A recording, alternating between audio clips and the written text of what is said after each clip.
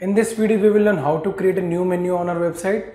Right now you can see some menus are visible on our website. Click on menus. On clicking menus click on manage. Right now here you can see two menus are visible. The first one is main menu and the second one is user menu. Let's say for example main menu is the menu visible here. This is the complete main menu. Home is considered as a menu item and you can add more menu items like about us team product page and other stuff. So now let's go here. Let's now add a new menu. Let's say i want to add a new menu to the left sidebar or or you can say the right sidebar of the website. Here or you can see the at this place. So let's see how we can add it. Firstly we will create a menu here. Click on new.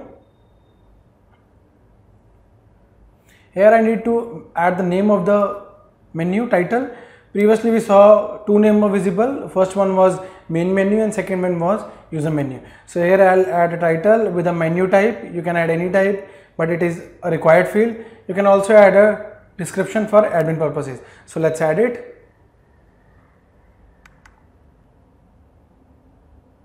So here you can see I have added menu details with that the menu type as well as a description.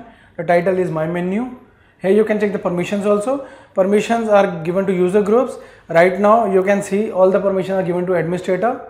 Here you can check.